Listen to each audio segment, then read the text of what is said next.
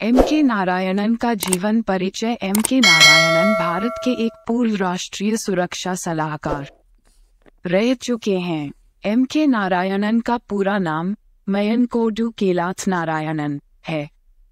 इनका जन्म 10 मार्च 1934 में केरल राज्य के पलक्कड़ ज़िले के ओटतापलम में हुआ था।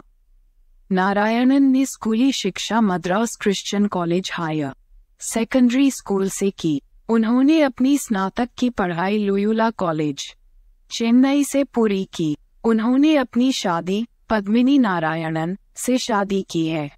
और एक बेटा, विजय और एक बेटी, मीना है। उनके दामाद अजीत नाम बी आर बीपीएल लिमिटेड के अध्यक्ष और प्रबंध निदेशक हैं। एम के नारायणन 1955 में भारतीय पुलिस सेवा में शामिल हुए और सर्वोच्च अंकों के साथ उत्तीर्ण हुए।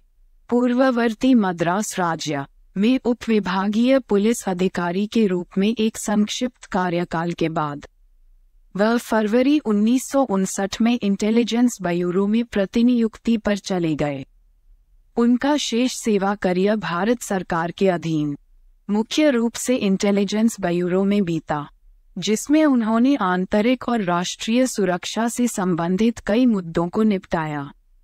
एक वर्ष के लिए संयुक्त खुफिया समिति का नेतृत्व करने से पहले। उन्होंने उन्नीस सौ सत्तासी से 1990 तक इंटेलिजेंस ब्यूरो आईबी का नेतृत्व किया। उन्नीस सौ बानवे में सेवानिवृत्त होने से पहले, वह उन्नीस सौ इक्यानवे में फिर से आईबी के प्रमुख बने।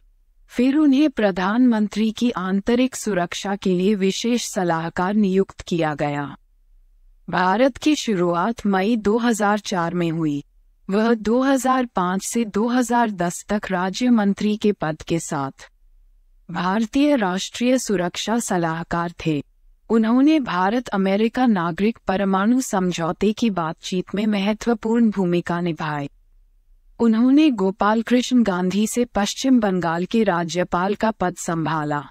जिनका नंदीग्राम और सिंगूर में हिंसा जैसे महत्वपूर्ण मुद्दों पर तत्कालीन सीपीआई शासित राज्य के साथ कुछ मतभेद थे। मयन कोडू केलाथ नारायणन एक पूर्व भारतीय पुलिस सेवा अधिकारी हैं।